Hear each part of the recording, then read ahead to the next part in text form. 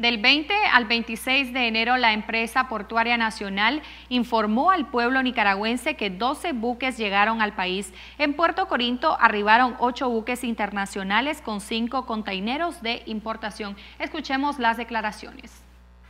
Crónica TN8.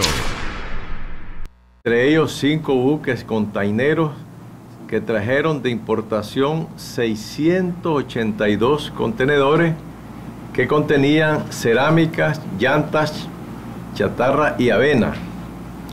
En lo que es exportación, atendimos 1.077 contenedores que llevaron azúcar, banano, camarón, carnes y licores, para un total de 2.879 teos.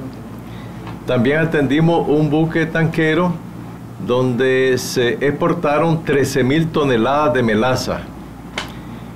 Eh, atendimos un buque Rorro que trajo 70 vehículos nuevos.